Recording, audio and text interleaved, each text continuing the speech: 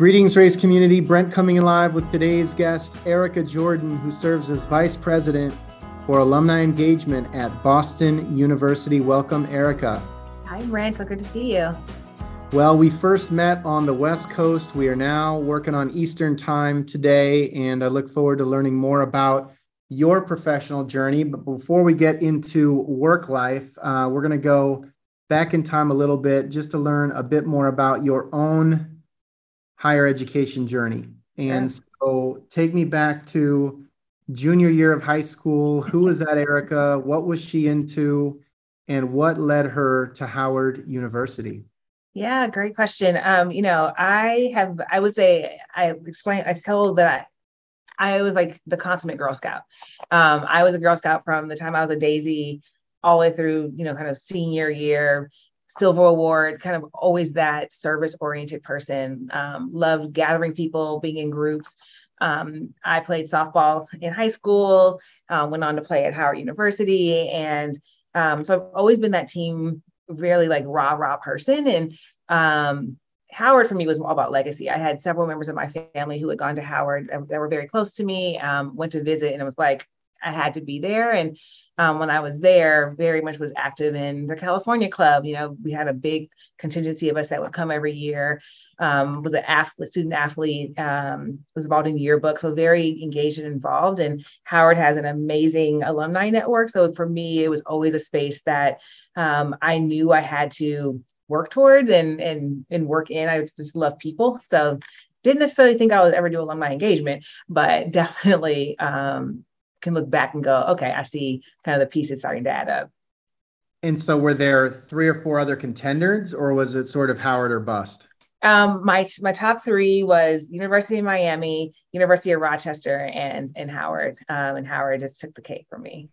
Well, it's great timing because by the time this episode airs, we will have just released an episode with David Bennett, who serves as VP uh, for or senior vice president for development and mm-hmm. alumni relations at Howard, which has had an unbelievable growth story over the last couple of years. I don't know how connected you are there, um, but it was just amazing to learn more about what has for sure always been a strong, tight knit alumni community, but it seems like philanthropically has really just been a, a rocket ship over the last couple of years. Yeah, no, he's done amazing work. I mean, I give him a lot of credit. I think, you know, Howard, much like a lot of other HBCUs, philanthropy hasn't been something that was really ingrained in the student experience and the alumni experience. I think we all give our annual gifts, but it hadn't been something that we really knew why we, you know, we give back. And people like me who have been in philanthropy and uh, higher education for a long time, you know, I get it, but most of my friends didn't. And they'll go back from homecoming every year. They'll do all the activities, but there's no that didn't necessarily connect into you know being a donor in any way. So he i think has helped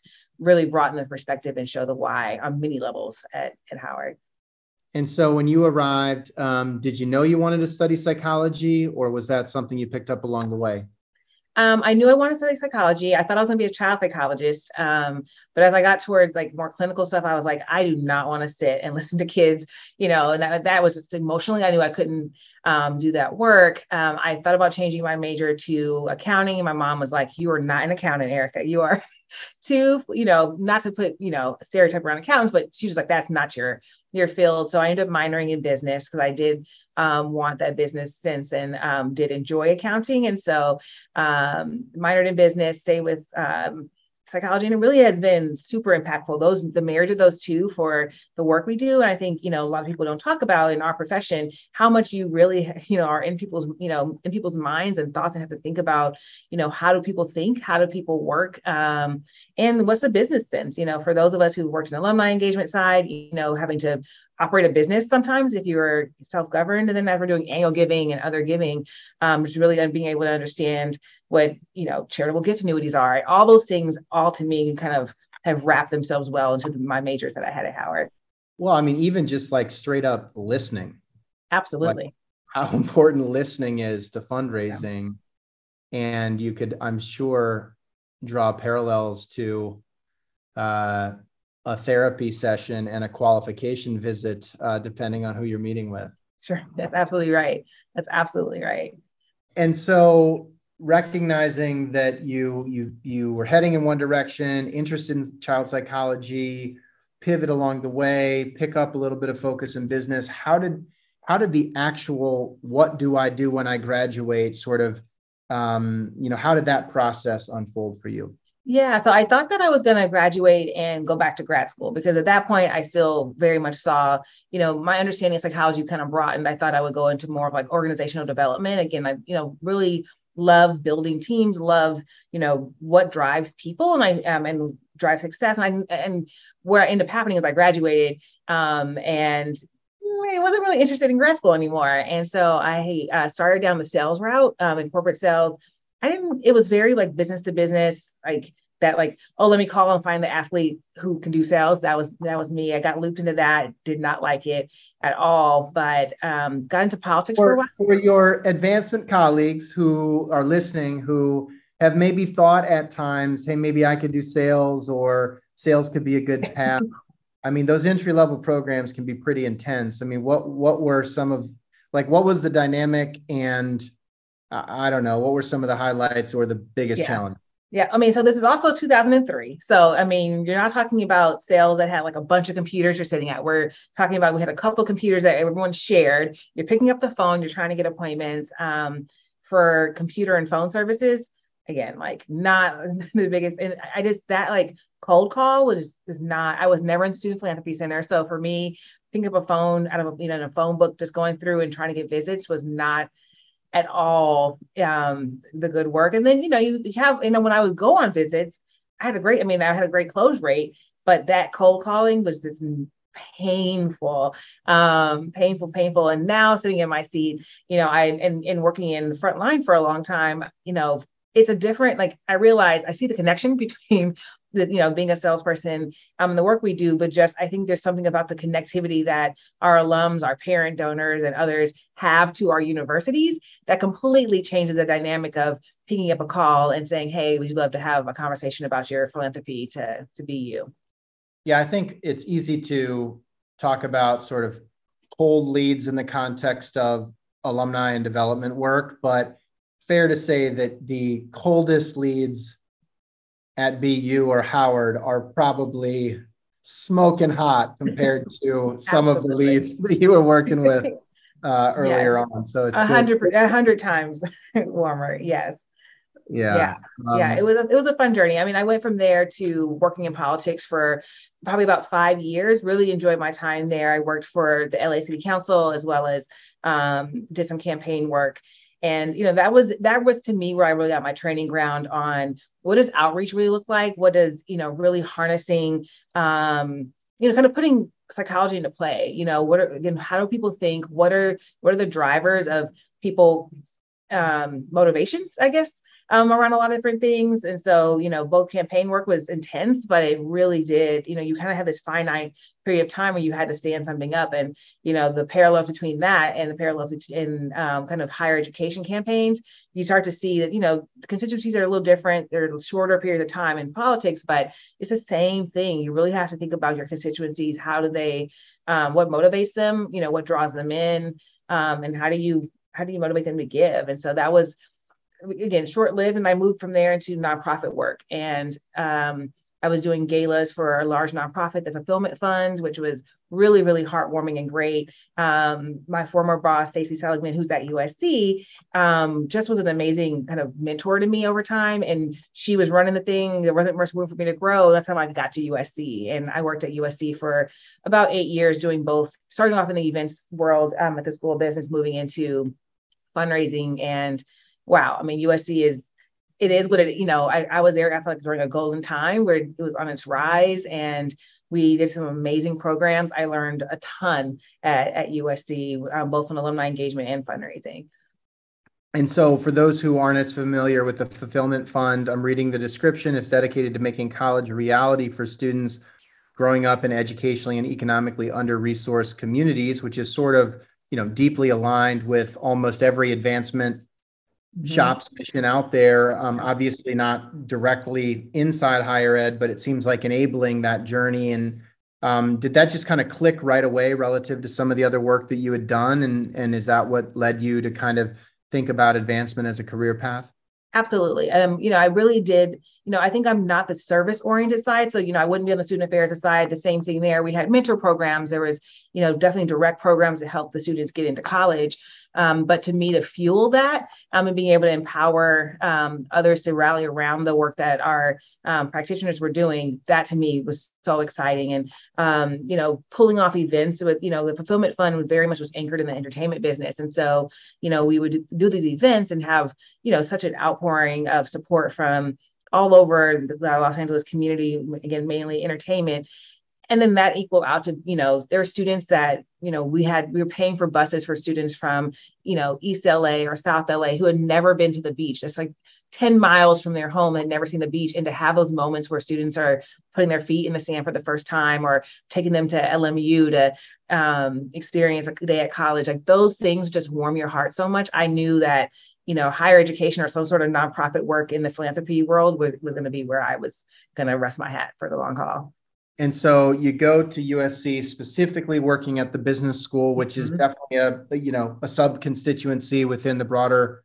um, community. Spend your initial period of, of time focused on more of the engagement work, but mm-hmm. then ultimately had the opportunity to move into more of a, a direct fundraising role. And I'm just curious, um, you know, thinking about events as just like the the classic engagement sort of strategy but then moving your way towards fundraising was it which is kind of like moving back towards your your sales role obviously different you know context but yeah. was that um an aspiration out of the get-go or or did it just sort of happen it just sort of happened. I honestly was probably the classic person of I never want to ask for money. Like, you know, it just felt icky. And um, you know, being at USC, you realize that the Trojan spirit is just so there. And at the I was, you know, always at all, you know, doing all the events. And when you're there, you just naturally just start talking to people about what they're doing, about the philanthropy. It just started to come naturally. And I realized if you know what you're talking about, you're really just leading people through a journey and conversation for something they're already going to do. And so um, it was it was you know a director at the time said to me would you ever consider a frontline role? And i was like uh, i don't want to leave my if i hate it then what happens? And she was like i promise you won't hate it. Just try it out. And so um, she really pushed me to try um, to come in to our giving program at the time was called marshall partners. And you know, I had to, our our goal was to raise you know a couple million dollars, you know, uniquely in our different regions, um, and really work with volunteers. So, I, and I love that piece of it. I love the fact that I was still going to be in a role where we were still working with volunteers, still doing events um, that were more exclusive, um, but then really had you know to to still raise money. And but those again, that was not a hard. It, it didn't become a hard ask. And as I started moving more towards major giving ask, that's where you know it really became okay. How do I make sure it's not as easy as asking for fifty thousand dollars? And now I'm asking for a million. And I think that you know USC just prepared me so much for the the mindset there was really if you're asking somebody for a dollar, you can ask them for a million dollars. It's the same ask. You still have to be prepared and know what the impact of that giving is going to be. And if you can explain that and ensure you're having that, um, you know who they are and what they're what they want to give to you, you can get them a million dollars just as easy as that that dollar. Which I know is very simplified, but it you know really gives you gives you that confidence to walk in and, and do the work. So if you could go back to your first month or two or first quarter on the job yeah. in that Marshall Partners fundraising role and sit that Erika down and coach her up, knowing what you know now, what are the one or two things you would tell yourself? Um, I think I that's such a great question. I think I would tell her to be patient and that the ride you have to go through. There's no skipping steps. You have some of the things that you're going to go through, um, as frustrating as they could be. Um, and while you may not understand them aren't going to prepare you for where you're going to be today. Um, and i say that because i think oftentimes when we're junior level fundraisers you know we want to become major gift officers quickly or we want to you know we, we think we can do it all. And there's something that there's something about in any of our roles going through the mud a couple of years and really understanding process um, really means something. And you know those there was years i was at usc with marshall partners where we had to rebuild and you know really you know you you do you, you start broadening what you're doing. You're not just doing the the ask and the events. You start getting you know much more into the data analytics. And we were doing some early things off of spreadsheets but you know there's there's pieces of that that i feel like if i hadn't stuck the course and you know there was times where i thought i should have been promoted sooner and faster. And um, i realized that the opportunity that was being presented even at my level has now paid off, you know, a hundredfold. And I know it's not advice around giving, but to me, it's I think advice universally that any of us can take is, you know, find that core those core years and really invest in yourself. Because I I know that I've had opportunity to leapfrog sometimes because I was prepared in the roles I spent a little bit more time in. Love that. Um, and and I'm sure you know it's it's it also I'm sure gives you empathy for the young, hungry, ambitious mm-hmm. fundraiser that wants that promotion, but also yeah. some perspective in that sometimes um, you know fast isn't isn't always the best the best yeah. path. Um, I am curious when you think about that time in the field. Are there any memorable experiences, you know, gifts you're particularly proud of, or yeah. frankly, you know, crash and burn experiences too, which which occasionally get shared um, that really stand out during your yeah, time? no, I think one of my favorite gifts, you know, there's so many memorable memorable gifts at USC. But there was I was doing some I was just got assigned to doing New York, and um, I was just surfing through lists because at the time, you know, we weren't really assigned a whole lot of people at that junior level. Um, and I noticed there's a gentleman who had given $12,500 two times within like a month of it itself, but no one had caught it. No one had added them up to go, this person gave $25,000, which at the time back then was a major gift. And so I went out, I met with him um, and thanked him for his gift. And he was like, you know, this was like, done, he had just done on his own. Yeah, on his own. There was no prompt for it. It had been several years since he had made the gift. No one had come out to thank him because, again, it looked like it was more like an annual gift. And so I thanked him, and you know, we had a great conversation.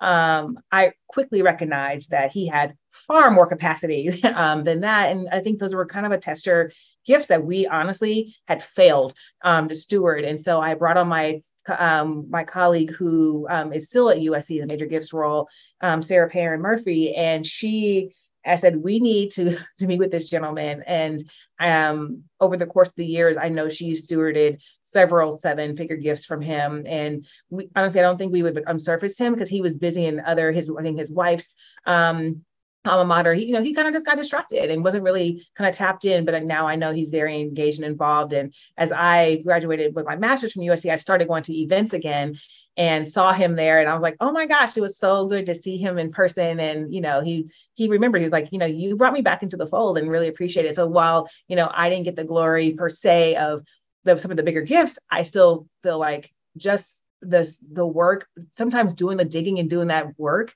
um the uncover people is so gratifying to see what their what their long-term journey could be with us.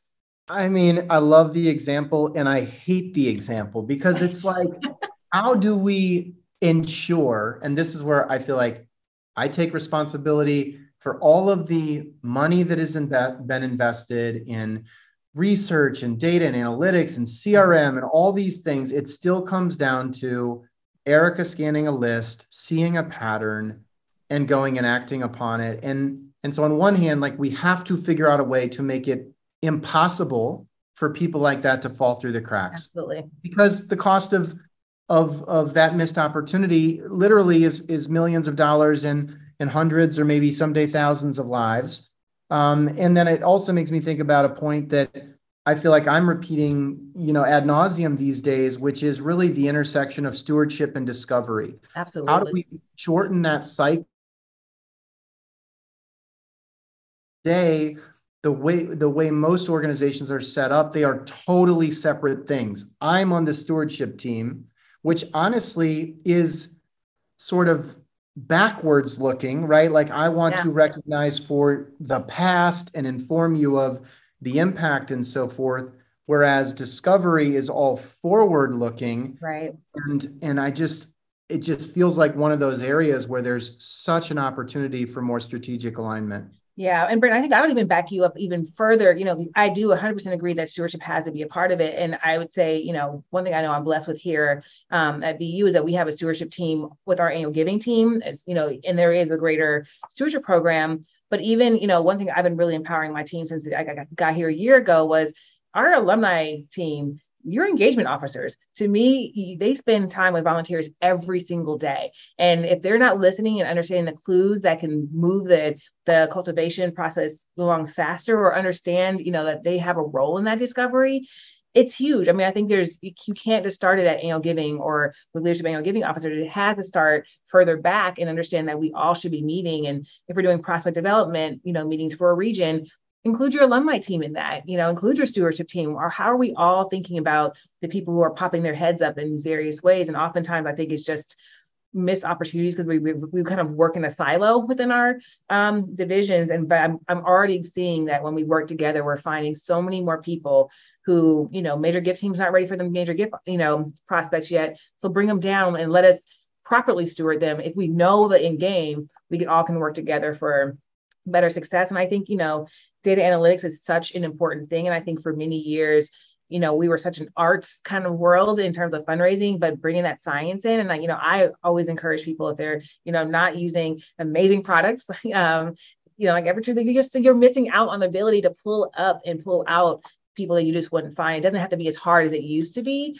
um, to uncover a list because there's there's tools that will help you do it so seamlessly and you know look we we have thank you for the kind words. We have a long way to go but but i you know what we are talking about all the time is just the intersection of engagement and as you were describing and discovery and ensuring that that handoff happens. Like if 100 people come to an event there's no possible way that they should be getting the same post event experience. But in a lot of cases that is the way it's done today. Mm-hmm. you take the attendee list you put it into the campaign you hit send and we move on. And it's like how do we start you know with this idea of of of rules and intelligence? So if 100 people register there are one or two or three people that are going to stand out and warrant a extra level special of post event follow up and then right. the next 10 people might have a different level of personalization. And then maybe for everybody else that's where the more generic mass email you know comes into play.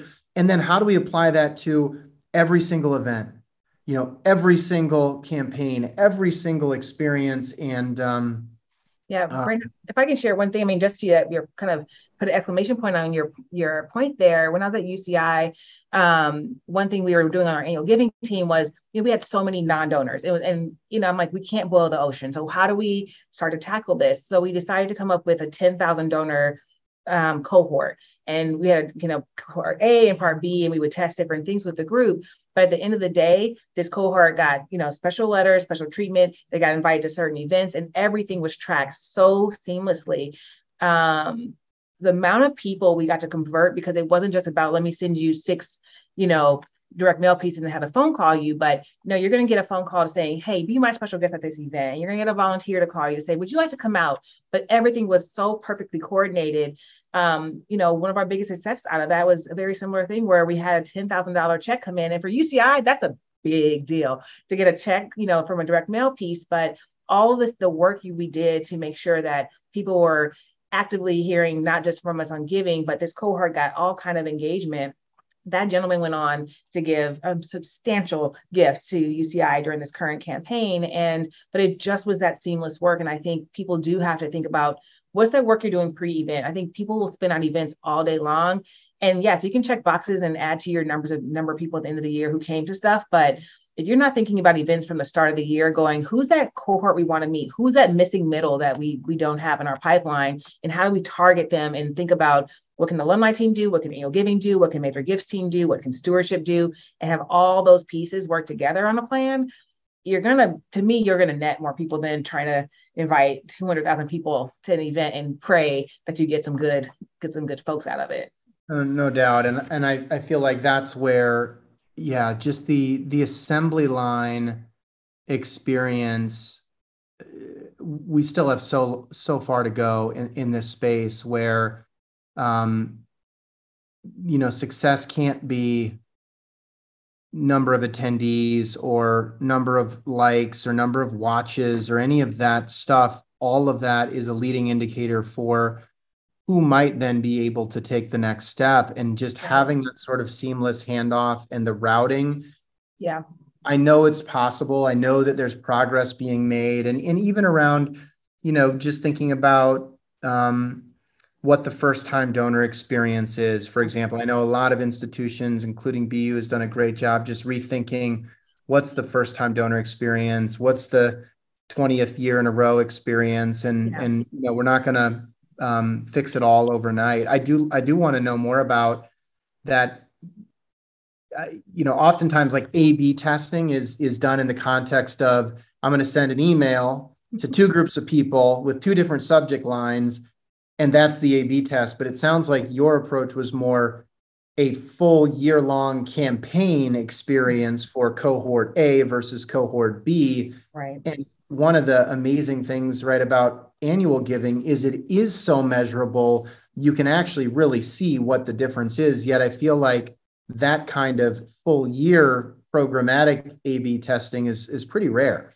Yeah, and it, it, takes a lot of work, and I think you really have to have the team that's willing to stick with it and the data. Um, and no, yeah, I mean, I, I what, what I'll say is that my team was so ready to do this that you know we had the team who could really think about data a little differently, and um, it took the time. What we looked at was, you know, who almost like an overlay like who are the schools at at uci who had you know some of the top you know density of giving? Who what was the age group? You know what was so we looked at all these kind of like qualifying factors of our current um, pool of people. Looked at some of the reunion years um, although we didn't have a reunion program we were trying to trying to see if people were kind of almost naturally um, giving spikes during those years um, or could we help drive it during those years a little bit more? And as we did the overlay, it became very crystal clear what our profile of potential donor looked like. And so again, acquisition is so expensive. And to me, if you're not doing it with the hand of, you know, let me profile my current, you know, my current um, giving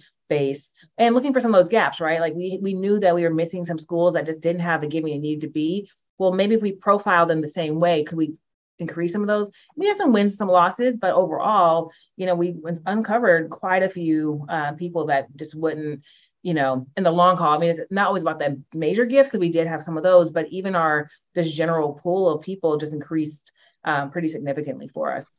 Well, while that work was happening, our paths first crossed. I remember the first time that I visited UC Irvine on campus because it's to this day one of the most amazing spaces that I yeah. think I've ever been in on a college campus. It was called the Cove. Yes. It's a really cool innovation center. Mm-hmm. And what I recall from that meeting, two things. One, there were a lot of people. Uh, two, you really championed engagement as a campaign objective mm-hmm. at UCI. And I know you've continued to take that with you. And I know you're um, a leader within the Council for Alumni Association executives community as well. And I just would like to learn more about the background and the catalyst to get sort of first class representation of engagement next to the big numbers that always get highlighted in a campaign. Yeah, you know, I think it really for me it really started, you know, US UCI. Um, my predecessor, he was at UBC for a while, and UBC had a big dual campaign. Um, and while he left, you know, I just it stuck with me. It was one of those things where I'm like, we UCI was at the time maybe 51 years old, so we're very young base. We were teaching our alums how to be alumni, and I'm like, well, they don't even know why they should give yet. They don't know how they should behave. And to me, it was our magic moment. If we are doing a campaign and our camp, the, the first campaign UCI had done was really more community based. Most of the donors were from the community. They weren't alumni. Alumni weren't really mature enough to even give at those levels. I thought that if we framed this right, we can really get our, you know, over the course of a seven year campaign, if we're starting off an alumni engagement goal and then moving people into um, becoming big donors, that to me felt more like a warm hug from us than hey we're doing this campaign you know of you know two three billion dollars and you made already lose people. Because like i don't see myself you know being able to help with that number at all. And so as we started putting together we got our board really involved in our team we recognized there was such a nice growth pattern already happening with our engagement. You know what if we supercharge that and really had those four big buckets? And we were right I think we launched our campaign right before CASE put out their their four buckets of engagement, and so we were right there with them, and um, it just has been so exciting to see how much people have responded towards it. And even here at BU, um, you know, there's we're growing the culture of, of engagement here too. And there's a lot of people who are interested in the work. I would say there's if I would implore anyone who has the ability to really fight for a dual goal in their campaign, it's I don't care what maturity level you're at, you know, our alums rarely see themselves personally in a billion dollar plus campaign. It is just such a big number. But when you you say to them, you know what, I don't care if you're giving or we care, but we, we want you to give, we want you to come to things, we want you to do all these things. And, you know, one thing we're working on here at BU is an annual alumni checklist. So, you know, you're checking through all the boxes. Did you give on giving day? Did you give your annual gift? Did you come to an event? Really just in every year refreshing that for them and saying, here's how we want you to engage. We're hoping that that will drive um, so much more activity during our next campaign that will be, be coming up. Um, another university that's doing it really well right now is University of Toronto. If anyone's um, checking out for what how you can spell it out, they have a dual goal um, that has a sub belly goal of um, a million touches from their alumni over the course of the campaign. And so there's a lot of engagement right now from other universities who are trying to boost that alumni engagement up with their campaign goal.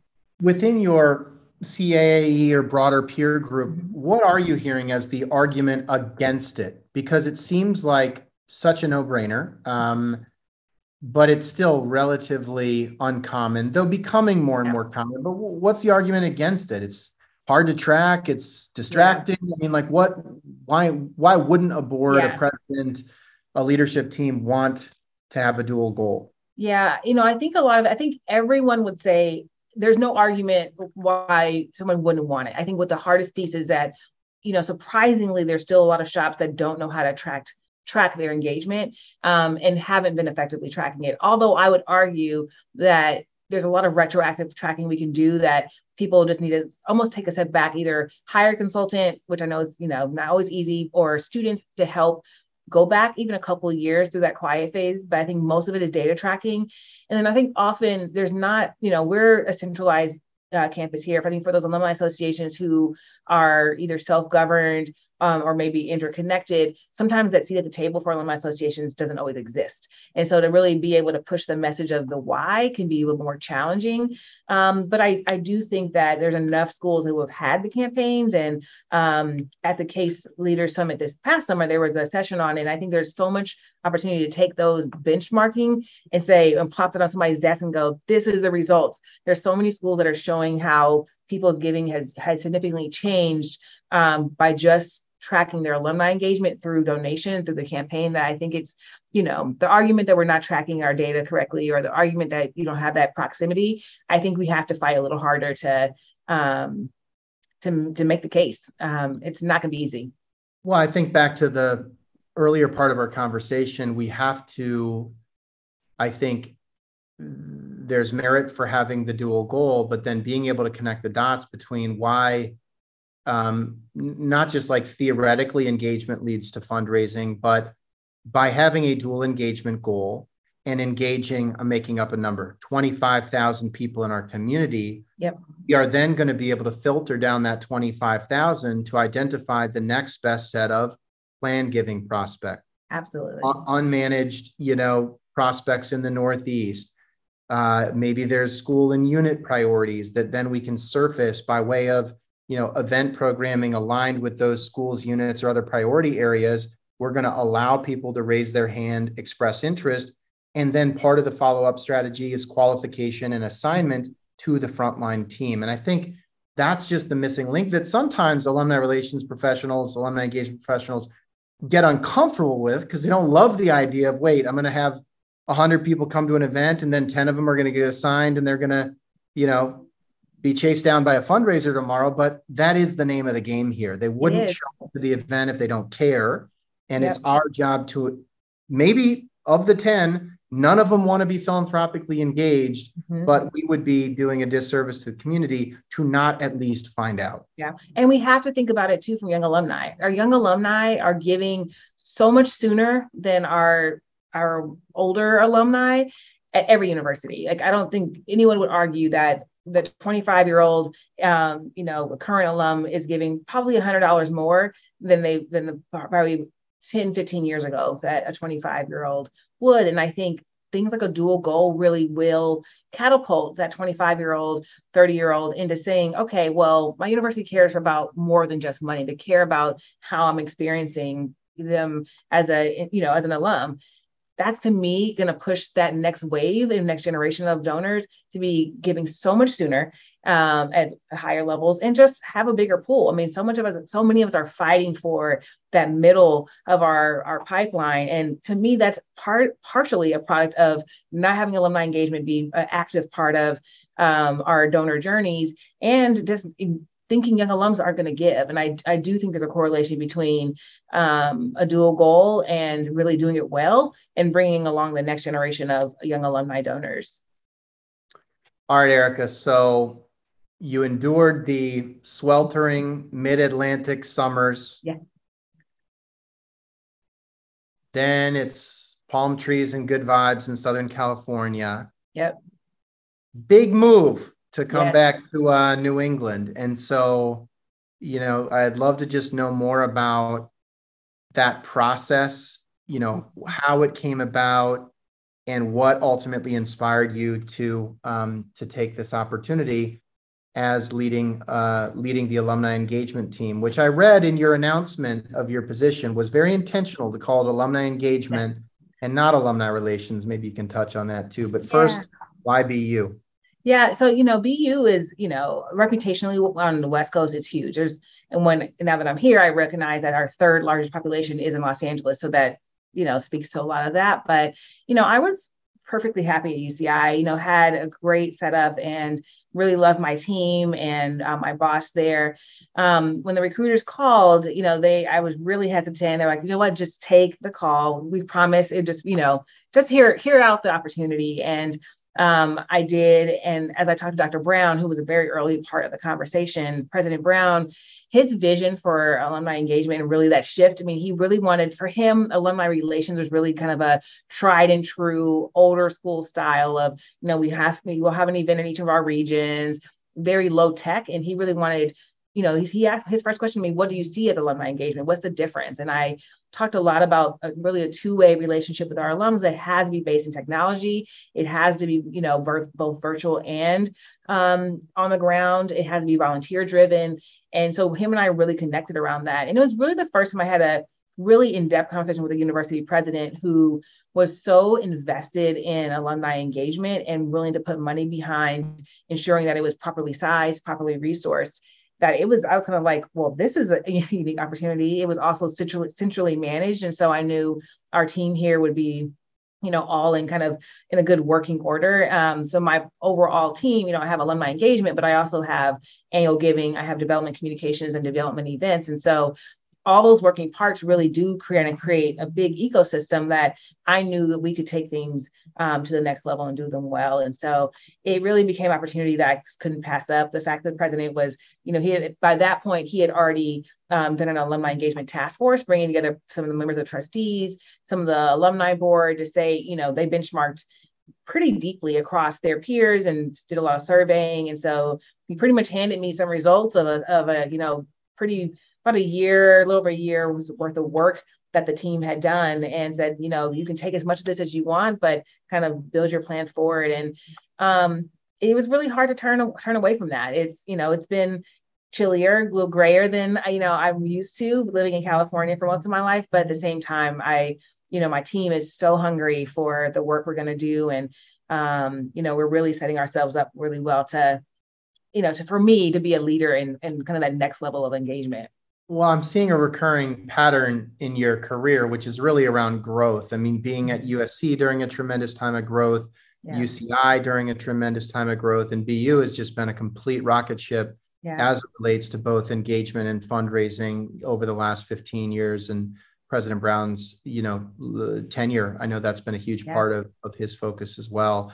Um, and so as you as you think about kind of well, actually, I, I have to ask you also accepted the role at a unique moment where like the pandemic was still in flight here. I mean, did you even yeah. have the opportunity to travel to campus? I mean, I didn't. I didn't. I had been to BU a couple years. Like I had been to Boston a couple of times before, but no, my entire process was online and it moved very fast.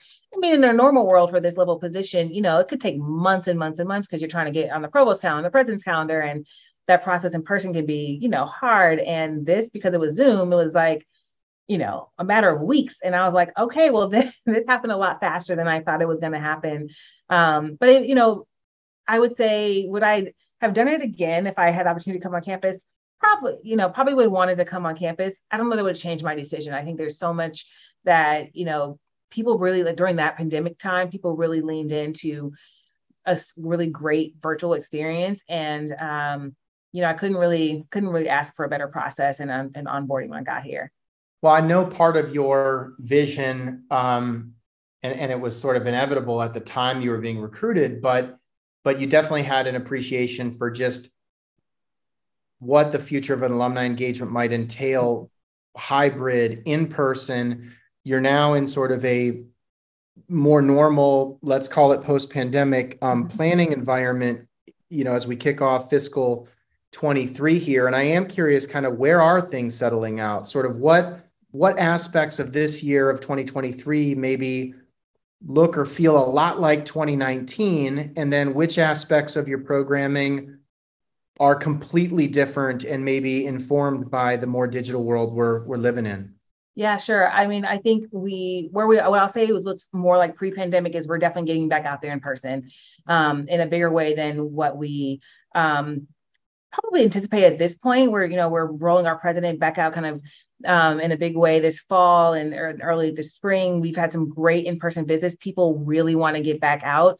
Um, we BU had not really been volunteer driven for this last couple of years, and so a lot of my team's energy is in working to build up our volunteer networks, um, our alumni networks, our young alumni programming.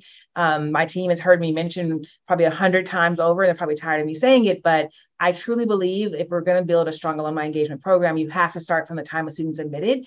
Um, and so we're really, really focused on what are those experiences year over year from the time a student's admitted all the way through um, at least their first five years to almost concretely, you know, put their feet in the ground as um, you know alums that are going to be active and um, looking at technology through all those pieces i think you cannot do it by just saying we hope you come to an event. It has to be you know what are you using? What's your platform? And how are you engaging people around mentorship?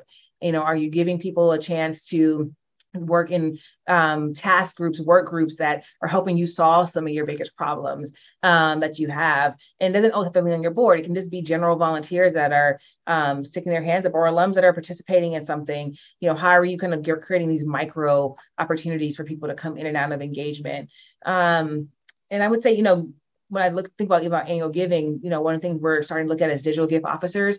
Again, we we're never going to have enough staff to for the alumni size we have. We're not going to have enough staff on the ground to help the pipeline. Um, and so on our annual giving kind of leadership annual giving team, we're looking at bringing on the DXO model and really hoping that um, we can reach a much wider audience. And I truly believe that, you know, frontline gift officers are never going away. They are there, you know, as a big career um, piece, but we can digitally engage people in a really strong way. I think that the pandemic has shown us that virtual events work. People are willing to engage with us virtually, um, and then some people just will never meet with you in person. So why not create this, you know, same conversation um, in a in a digital space and and utilize the insights that we have to have, create better virtual conversations with folks. So we're very much right now rooted in technology. Um, you know, we're looking at a Salesforce conversion. There's all the pieces. I just so many things we're kind of under the hood, making sure that in two years we can really say we have all the things we can to to really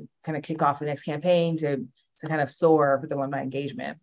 Well, I think one of the unique um, opportunities for a place like the U, first of all, the geographic diversity that you've described. I mean, having the West Coast as the third largest um, area, almost 10,000 alumni in San Francisco, LA, et cetera. But you also have 5,000 alumni in the United Kingdom and yeah. 4,000 in India. And yeah. the Middle East, there's a really strong presence. And, and I, I am hopeful that like there is no reason that that sort of virtual discovery model, the DXO model, cannot scale globally as well Right. Um, I don't think we've really gone there yet, but but that should be something that we certainly keep in mind. Right. And I know that's been an area where BU's had tremendous strength from yes. an international fundraising perspective. But even as you think about the intersection of engagement and philanthropy around you know volunteerism globally, I mean, one of our experiences that that I've referenced a couple of times, like I have served on the board of the Brown University Football Association. That's been very fulfilling for me. But up until the pandemic, our approach was to have board meetings a couple times a year before football games. Well, guess what? Not that convenient for most people to get to Providence. And then we'd have the, you know, the conference phone in the center of the table with horrible audio that nobody could hear who wasn't in the meeting. Right. And then when the pandemic hit, all of a sudden we hosted that first one on Zoom and it was like the most amazing experience. And so that's an example where I'm like, please don't go back to absolutely the way we used to do it. I don't care what volunteer program, like have it at a lunchtime, you know, East Coast, 9 a.m. West Coast, do it via Zoom, let people see each other, engage with each other. Like, no, like let's not go back to those habits. I 100% agree. And, you know, BU has been, uh, you know, I think an international leader in alumni, international alumni engagement for a long time. And we just had a, meeting with all of our um, alumni leaders in, in Asia. And it was such a powerful meeting. And as we're planning for their, um, they do a business forum every other year. This one's going to be online again. And they were like, this is great. The Friday night before, though, in their own places, they'll have some sort of in person reception. But the main crux of the event is going to be virtual and they're so excited about it because now they don't have to worry about traveling into a different country. Um, we'll have opportunities for them to, to network and engage across you know the entire entirety of the day. We'll have speakers that are you know will be pre-recorded but then coming live for um, some talks. And it really does i think virtual space just creates such a you know world of opportunity. I hate using the pun, but um, I think it really does open up a whole nother level of engagement. And I 100% agree with you. I think DXO model, at least for us, would work well because we have such a warm international alumni base. Right. I, I, am optimistic. They're going to be like thrilled to have that conversation and, and maybe even in some cases almost prefer that you're not spending all that time and money to yes. you know travel just to just to see them in person like they might not yeah. not everybody needs that level of of personalization i guess yeah. um, i want to make sure with the time that we have remaining we get yeah. to touch on a couple of topics um, one mentorship and two your team um, experience with mentorship i know the advancement sector is super tight knit the CASE community tight knit. I know you're tight with Mo Cotton Kelly. You've mentioned Ryan Hervey at UCI, but just what's your sort of experience been with mentorship? you know, I, I don't think any of us would be where we are, you know, in our profession without it.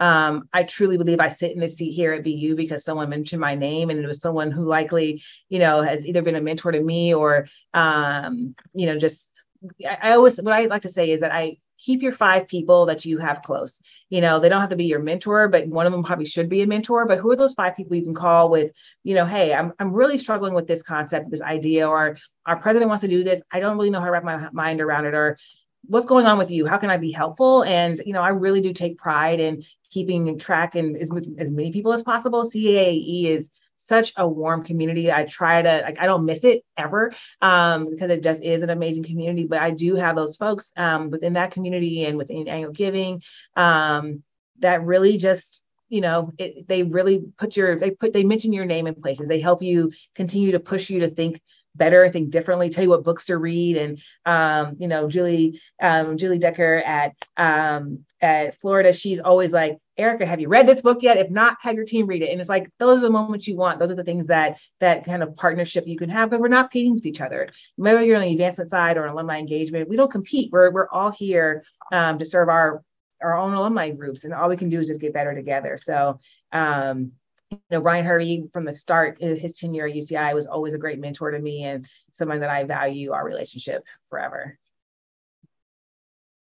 I love that, and yeah, it's such a recurring theme, and and uh, we'll make sure that they they hear uh, hear those shout outs for sure. Um, tell me a little bit about the team today. Mm-hmm. Are you hiring, growing? Why should folks keep an eye on the jobs page over at BU? Yeah, we are hiring um, in a major way. We are preparing for our next campaign. We are staffing up for sure. Um, I am looking to hire for marketing communications folks. We are hiring digital gift officers. Um, we are hiring a director of leadership annual giving, really all around. Um, we've also made some amazing hires recently. So I would say, you know, I think I'm fun to work for, but I think even some of the leaders that we've been hiring, um, Daniel Reddy from um, MIT just joined us and is leading our alumni engagement efforts under me. Um, we just hired um, uh, we just hired Kelly Sullivan from Texas, who's now our senior director of uh, annual giving. She's a powerhouse, someone that you know. That's looking, amazing. I hadn't heard that. I that, know. I'm so excited. Um, if you're looking to, you know, she, is she in in Boston? She or? is. She's in Boston. Yeah. So we, I would say, you know, our our leadership team is just growing and really. Um, if you're looking to look work in a kind of innovative, innovative, dynamic, nimble place, we're we're that shop, and I do hope we um, continue to be one of the best teams out there. I love it. Well, it's been a, an absolute privilege to collaborate with um, your colleagues over the years and, and to be able to collaborate with you in this role. And I hope that everybody will um, follow along with, with the continued growth story at BU. If folks want to be in touch with you, Erika, I know you're yeah. active on LinkedIn. Any other um, recommendations for, for ways to get in touch? I'm always on email. I'm I'm enjordan at bu.edu. Feel free to reach out. I'm always here. I love connecting. So, and thank you for the opportunity. Love it. Love it. Well, um, I will uh, uh, start to wrap uh, today's episode. And, and yeah, just want to thank you for sharing a bit more about your journey. Uh, it's been a privilege to, to get to know you over the years and, and look forward to continuing to do that here in the future. And so I would just uh, strongly encourage everybody reach out to Erika, follow her. She's a great leader in the space, um, deeply connected and committed to the sector. And so, with that, Brent signing off with today's guest, Erika Jordan, Vice President of Alumni Engagement at Boston University. Go Terriers.